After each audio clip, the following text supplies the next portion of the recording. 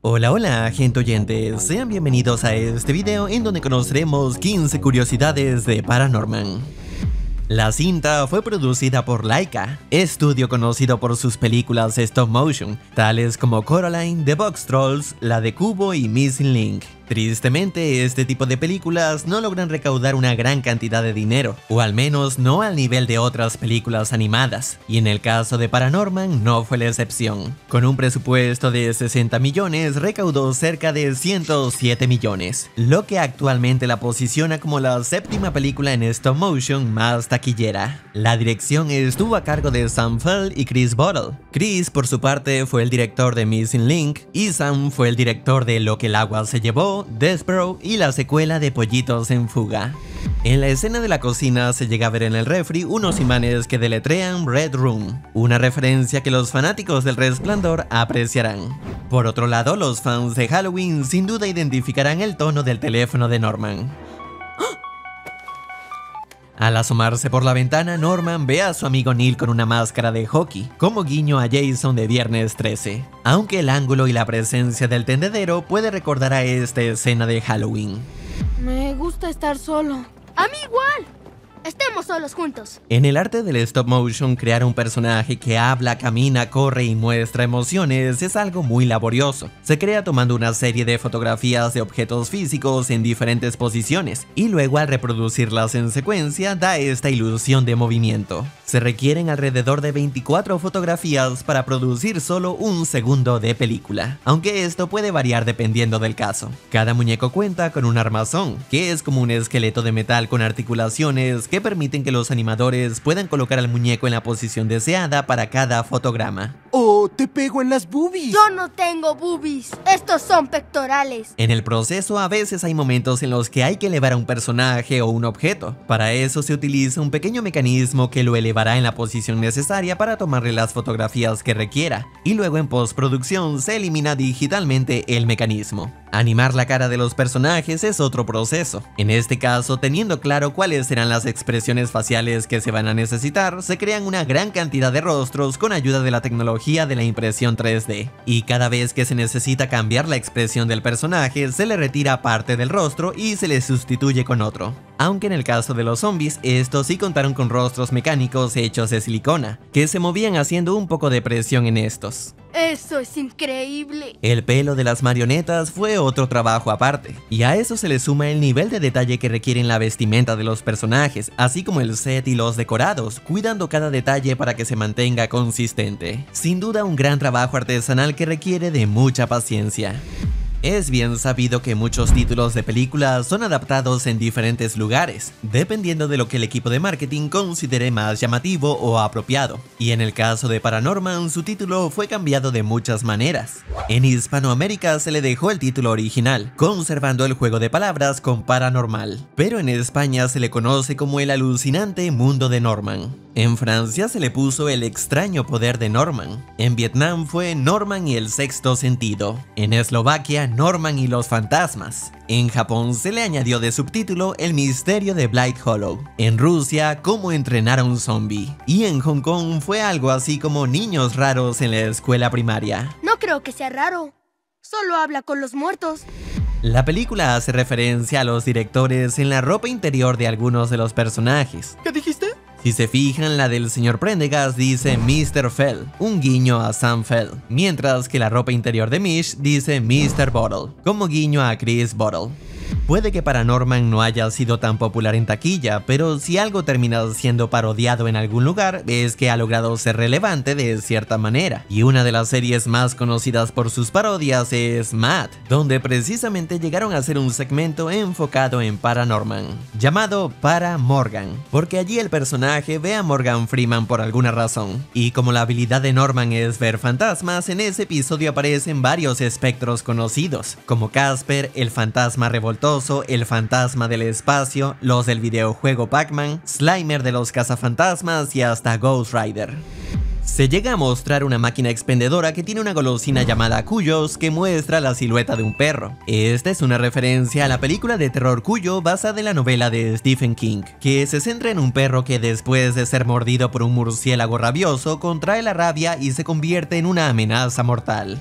Hay un momento en el que la sheriff Hopper dice una línea que por supuesto recuerda a Scooby-Doo, Y habría sido una noche tranquila de no haber sido por esos chicos entrometidos. siendo la frase que dicen los que son desenmascarados por la pandilla del misterio. Además de eso, al encontrarse con la multitud, la policía llega a decir la palabra característica de Vilma, Jinkies. solo que esta se aprecia mejor en inglés. Sweet baby Jinkies.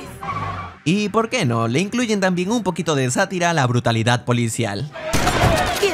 ¿Quién se ha creído para dispararle a civiles? Eso es trabajo de la policía.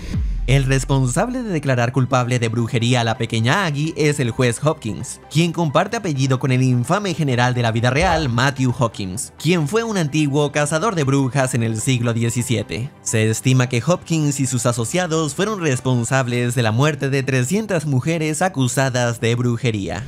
Courtney llama al juez Hopkins como zombie, a lo que Norman le dice que no use la palabra con Z, algo que puede recordar a una escena de la película Shaun of the Dead. Mom, tell the zombie to stop saying stuff about me. Can you quit using the Z word? Any zombies out there? Don't say that. What? Z word, don't say it. Why not? Because it's ridiculous. En inglés, la pequeña Aggie cuenta con la voz de la actriz Jodelle Ferland, quien curiosamente años antes había interpretado a Alessa en Silent Hill, una niña que fue acusada de brujería y quemada viva. Me quemo.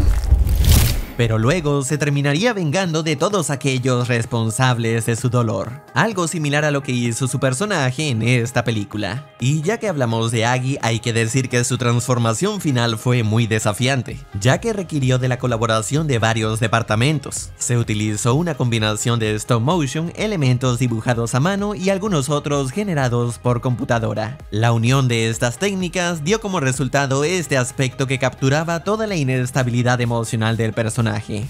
La película cuenta con una creativa escena post créditos en la que vemos un timelapse del proceso que lleva a ser al personaje de Norman, y al finalizar hacen como si este cobrara vida, levantándose y abandonando la escena, como si fuera un juguete de Toy Story que sabe que ya terminaron de jugar con él. ¿Yo? No, no, no, no, no. La película estuvo entre las nominadas al Oscar del 2013, pero como suele ocurrir, los de Disney y Pixar se llevaron la estatuilla con valiente. En cuanto a los Emmy Awards, considerados como los Oscars de la animación, Paranorman también estuvo entre las nominadas, pero allí la ganadora fue Ralph el Demoledor. No dejes que te depriman. A pesar de ser clasificación PG, la película está llena de momentos que algunos podrían considerar bastante oscuros o inapropiados para un público infantil. ¿Qué estás viendo en la tele? Sexo y violencia. Desde referencias a la mafia, humor negro sobre mascotas atropelladas, manipulación de un cadáver, lujuria adolescente, alusiones al contenido para adultos, sátira a la brutalidad policial, uso de armas de fuego y la revelación de que la bruja era solo una niña que fue ejecutada por hablar con los muertos. Y claro, para algunos padres lo más alarmante que tuvo la película fue esta escena de Mitch. Oye, vas a adorar a mi novio. Es fanático de las películas de chicas. ¿Alguien quiere pensar en los niños? Aún con todo esto, lo cierto es que la mayor parte de los críticos y el público la consideran una buena película, que sí puede llegar a ser muy aterradora para los más pequeños, pero al fin y al cabo la premisa de terror y misterio se presta para todo esto. Además, tampoco es la típica película de zombies come cerebros y brujas malvadas. Los zombies aquí en realidad no querían hacerle daño a nadie, solo poner fin a su maldición, y la supuesta bruja malvada era solo una niña vengándose por el terrible destino que sufrió por culpa de gente ignorante que tomó malas decisiones. De manera que lo que se buscó mostrar aquí es como a veces los verdaderos monstruos son los humanos, especialmente los adultos, que en su paranoia temen a lo desconocido y actúan con crueldad hacia aquello que no comprenden. Es aquí donde las palabras de la abuela al inicio de la película adquieren mucho valor. Apuesto a que si se molestaran en sentarse a discutir el asunto, sería una historia diferente. Y aunque puede ser algo idealista pensar que el diálogo resuelve todos los conflictos, ya que sin duda no aplica para todo, el mensaje está en promover el entendimiento a través del diálogo. Y si eso no funciona... Nah, mentira. O bueno, sí, quién sabe. Depende. Afortunadamente para Norman y sus amigos, la charla resulta efectiva, tanto con la multitud enojada como con la pequeña Aggie que quería seguir en su ciclo de venganza, por lo que la película también nos habla del perdón, ¿Y las personas que te han lastimado? ¿Nunca has querido hacerlos sufrir? Pues sí, pero ¿a quién le ayuda eso? Y es que aunque nos sintamos justificados en nuestro enojo hacia algo o alguien, si permitimos que el odio se apodere de nuestras vidas, entonces, ¿qué será de nosotros? Como diría don Ramón, La venganza nunca es buena. Mata el alma y la envenena. y si algo demuestra Norman Konagi es que nunca es tarde para perdonar, aunque te tome 300 años. Por más que exista un gran fandom entre las películas de Laika, notarás que estas no cuentan con segundas partes. Esto se debe a la estricta regla que tiene el estudio de no hacer secuelas. Y es que Travis Knight, el director ejecutivo de Laika, tiene una clara postura frente a esto. Él dice lo siguiente, si miras hacia dónde va la industria te darás cuenta que está dominada por franquicias, remakes, secuelas, precuelas, siendo básicamente como si agarraras un regalo viejo, lo volvieras a envolver y se lo ofrecieras a la gente como algo novedoso. Eso, la verdad, no me interesa. La forma en la que abordamos nuestras historias es imaginando cada película como si fuera la experiencia más significativa de la vida de nuestro protagonista. Por lo que, teniendo eso en cuenta, ¿qué significaría entonces una secuela para el personaje? ¿Sería esa la segunda experiencia más significativa de su vida? ¿O habría que subir el nivel de la secuela a tal punto que podría resultar hasta ridículo el cómo debes justificar la existencia de dicha continuación? Y no quiero hacer eso. Quiero contar historias nuevas y originales. Aunque eso no le impidió dirigir la película de Bumblebee, que forma parte de una franquicia. Pero bueno, sus palabras van dirigidas a su estudio como tal, siendo el enfoque que quieren tener en Laika. Es por eso que nunca ha habido secuelas de sus películas. Quién sabe si en el futuro cambiarán de opinión, pero al menos por ahora quieren mantenerse fieles a esa visión. ¿Tú qué piensas al respecto? Si el video te ha gustado, no olvides dejar tu like. Agradezco a los miembros que han apoyado al canal y esto es todo. Hasta luego. Estemos solos juntos.